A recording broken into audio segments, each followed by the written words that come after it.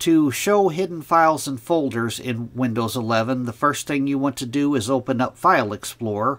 You can either go down to your taskbar down here, and if I place my mouse cursor over this uh, folder icon, you can see it says File Explorer. You could click here, or you could hold down the Windows logo key and press the letter E. Now File Explorer has opened. At the top up here, you'll see a View tab up here. You want to click on View.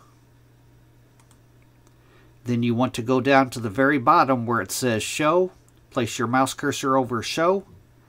And then go straight off to the right. And at the very bottom down here, as you can see, my computer is not showing the hidden items because if it did, there would be a check mark next to it. Like you can see the one above it, File Names and Extensions, there is a check mark next to that. If I click on hidden items, there will then be a check mark by it. I'm going to click on it. Now my computer is showing hidden files and folders. If I go back to view, I'm going to click on view again. And I'm going to go down to show.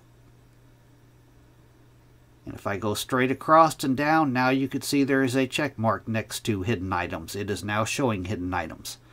That is how to show hidden files and folders in Windows 11. Thanks for watching.